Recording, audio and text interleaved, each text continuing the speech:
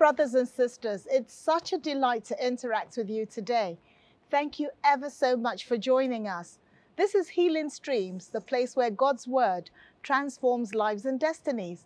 I pray that God will touch every area of your life in Jesus' name. Amen. Today's topic is the power of focus. The power of focus. When this topic came to mind repeatedly, I thought it would be all about creating goals and plans and focusing on them. I was going to check in with you. How are you on track with your 2023 plans? But God had other ideas about this topic. I asked him, I said, What would you like your children to know about the power of focus? And I heard clearly, I want them to focus on me. I pray that the Holy Spirit will minister to you as you listen to this session. In Jesus' name, Amen. The power of focus. How do we focus on the Lord when there's so much noise and distraction? Let's start with the definition of focus the center of interest or activity. The dictionary also defines focus as the main or central point of attention. Synonyms or similar words to focus are emphasis, priority, concentration. So I'm going to ask a couple of questions. What are you concentrating on? What is your priority? Today's message is very simple. God is saying, focus on me. Matthew chapter 14. It was a stormy night. Jesus had gone to the mountain to pray. Initially, the disciples' boat was on the other side of the sea, but by evening, the boat had moved to the middle of the sea tossed by the waves, for the wind was described as contrary. Jesus decided to go to the boat walking on the sea. The disciples were terrified when they saw him. Then Peter said, Lord, if it is you, command me to come to you on the water. So Jesus said, Come. And when Peter had come down out of the boat, he walked on the water to go to Jesus. But when he saw that the wind was boisterous, he was afraid. And beginning to sink, he cried out, saying, Lord, save me. And immediately Jesus stretched out his hand and caught him and said to him, O you of little faith, why did you doubt? And when they got into the boat, the wind ceased. When Peter focused on Jesus, he walked on water, he dominated, he ruled over the circumstances.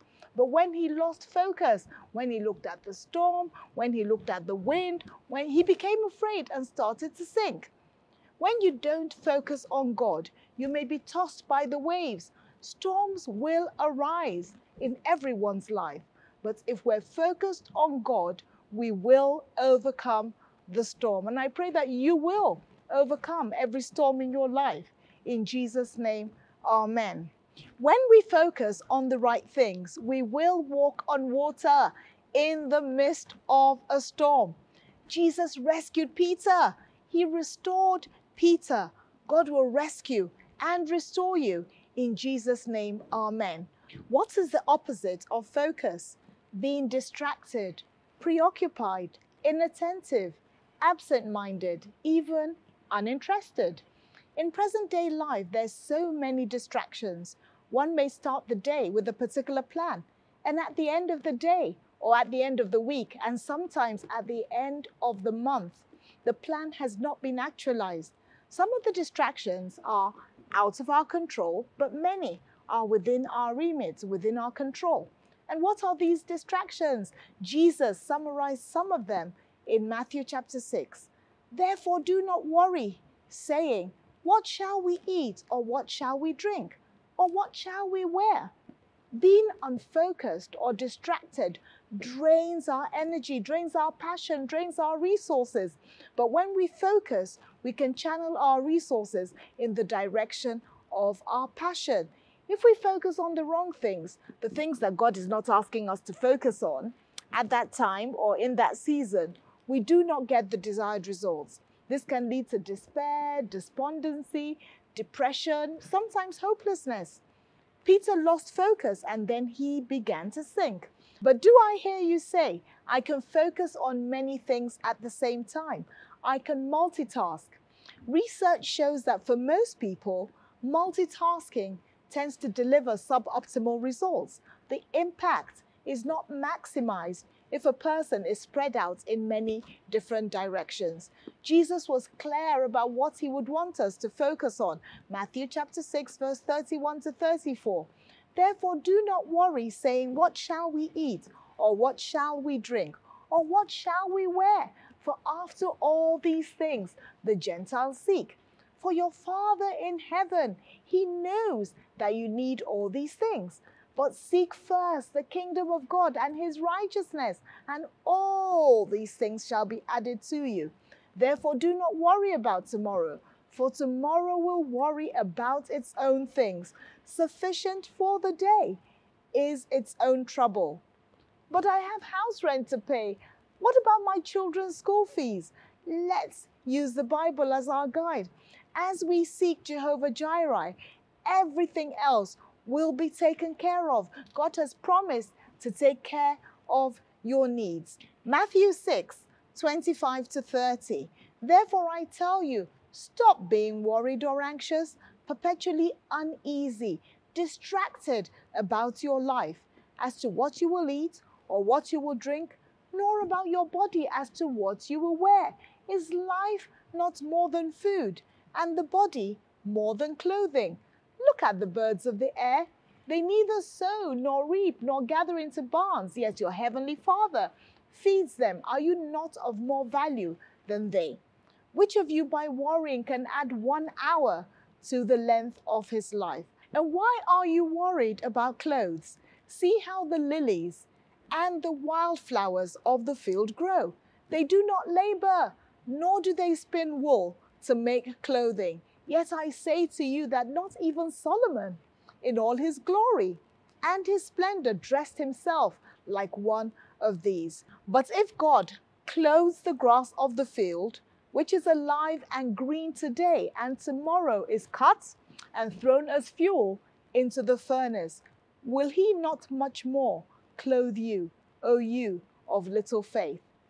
I do suspect that God has asked me to share this message because we become distracted. We may be praying more, but are we really connecting with God? We may be attending more online services, but is it all about our needs? Is our relationship with God mostly transactional? Do this for me, do that for me. I will praise you so I can get more from you.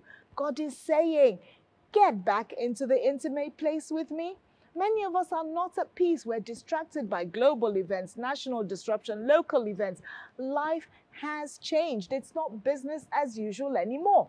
And God is aware of this, yet He says, Focus on me. Isaiah 26, verse 3 I will keep you in perfect peace because your mind is stayed on me, because you trust in me. When we focus on God, the provision comes. Luke chapter 5. Jesus got into Peter's boat so that he could teach the people. At the point Jesus encountered Peter, they had given up the possibility of ever catching fish that night. They were already washing their nets. Luke chapter 5, verse 4 to 8. When Jesus had stopped speaking, he said to Simon, Launch out into the deep and let down your nets for a catch. But Simon answered, Simon Peter, answered and said to him, Master, we have toiled all night and caught nothing. Nevertheless, at your word, I will let down the net. And when they had done this, they caught a great number of fish, and their net was breaking. So they signaled to their partners in the other boat to come and help them. And they came and filled both the boats. So they both began to sink. So when Simon Peter saw it, he fell down at Jesus' knees, saying, Depart from me, for I am a sinful man, O Lord. When Peter focused on the needs of Jesus, when Peter allowed Jesus to use his boat, God made provision for him. The expert fisherman caught fish at a time when it was least likely. God is saying, focus on me. Don't focus on the provision. Don't focus on your needs. Don't focus on the fish. I will take care of you. Many of us are concentrating on the fish. And there is a tendency, I must admit, to do that. Focus on God. The fish will come, the benefits will come. We can be confident about that. James chapter 1, verse 17. Every good and perfect gift is from above. It comes from the Father of lights, with whom there is no variation or shadow of turning. Matthew 7 7 to 11. Ask and it will be given you. Seek and you will find. Knock and it will be opened to you. For everyone who asks receives, everyone who seeks finds, and to him who knocks it will be open. Is there a man among you whose son would ask for bread and you would give him a stone? Or ask for a fish? Will you give him a serpent? If you then, being evil, know how to give good gifts to your children, how much more will your Father who is in heaven give good things to those who ask him? The fish, the clothes, the shelter, the money, the prosperity, the fame, the fortune is not the most important. Seeking the kingdom of God is the most important. Luke chapter 5, verse 9 to 11. For he and all who were with him were astonished at the catch of fish which they had taken. And so also were James and John, the sons of Zebedee, who were partners with Simon Peter. And Jesus said to Peter, Do not be afraid. From now on you will catch men. So when they had brought their boats to land, they forsook all and followed him. They gave everything up. They gave up everything and they followed him. What is competing with God in your life? Is it fame? Is it fortune? Is it money? Is it career? Is it business? Is it family? Take your eyes off those things and trust in God today. God is the source of all supply. How do we focus on God? We focus on who God is, we focus on what God can do, God's power, His strength, His love, His loving kindness. We focus on God's promises.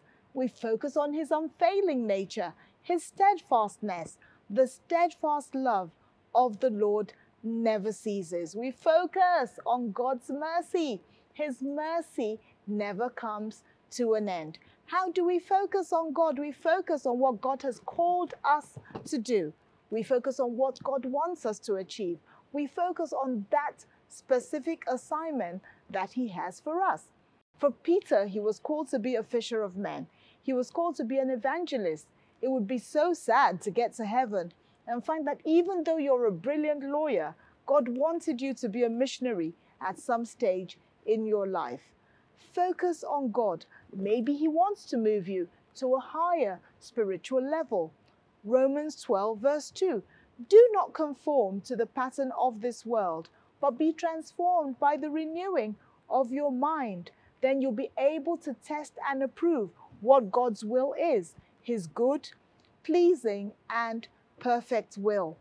How do we focus on God? By hoping in Him, by trusting Him, by building our faith.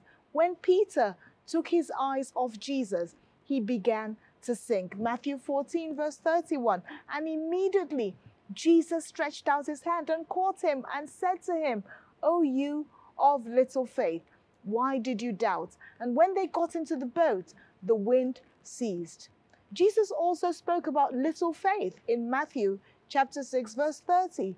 Now if God clothes the grass of the field, which today is and tomorrow is thrown into the oven, will he not clothe you, O you of little faith? We build our faith as we focus on Jesus. Hebrews chapter 12 verse 1 and 2. Therefore, we also, since we're surrounded with so great a cloud of witnesses, let us lay aside every weight and the sin which so easily ensnares us, and let us run with endurance the race that is set before us, looking unto Jesus, the author and finisher of our faith, who for the joy that was set before him endured the cross, despising the shame, and is set down at the right hand the right hand of the throne of God. Other versions say, looking away from all that will distract to Jesus. Fix your eyes on Jesus. Focus on Jesus. We're talking about building our faith. We can build our faith by remembering what God has done for us in the past or by listening to other people's testimonies. We can build our faith by meditating on the Word of God, the Bible. Psalm 1, verse 1 to 3. Blessed is the man whose delight is in the law of the Lord, and in his law he meditates day and night. He shall be like the tree planted by rivers of water that brings forth its fruit in its season, whose leaf also shall not wither, and whatever he does shall prosper. We can build our faith by praying in the Holy Ghost. Jude 20, but you, beloved, building yourselves up on your most holy faith, praying in the Holy Spirit. God would love if we could spend hours just praying in the Holy Ghost. It would actually make us calm and give us peace about all those things we're anxious about. It will also give divine insights and direction. Why don't you start with one hour today and build up from there? How do we focus on God? By avoiding worry, by avoiding anxiety.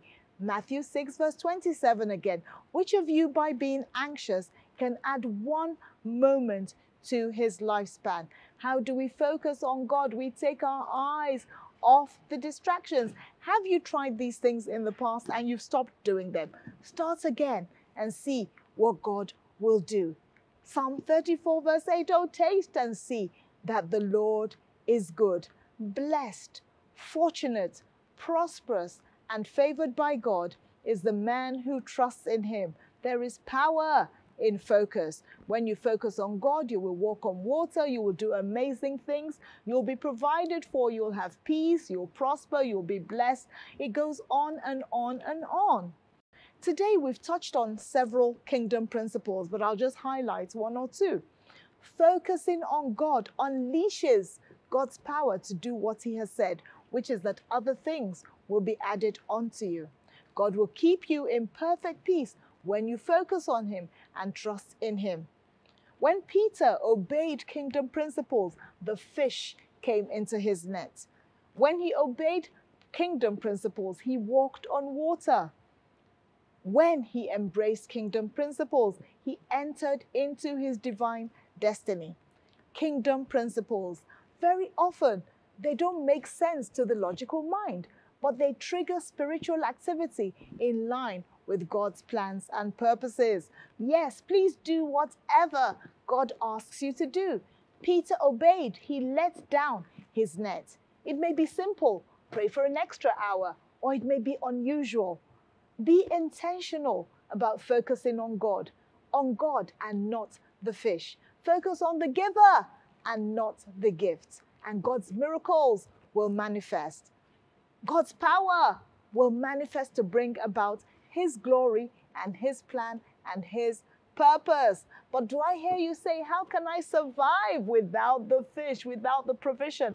God is your source and your help. Psalm 46, verse 1 God is our refuge and strength, a very present help in trouble. A very present help in trouble. Are you in any type of trouble? Have you toiled all night and caught nothing? Is your work not yielding the desired result? Can I ask you to come to Jesus today? Jesus says in Matthew 11 28, Come to me, all of you who are weary and loaded down with burdens, and I will give you rest. You can accept Jesus Christ and change the course of your life and destiny right here, right now, by saying this prayer with me. And the prayer is visible on the screen. Please let us pray. Almighty God, I confess that I have done things my own way. Going forward, I choose to do things your way. I accept your Son, Jesus Christ, as my Savior and as my Lord.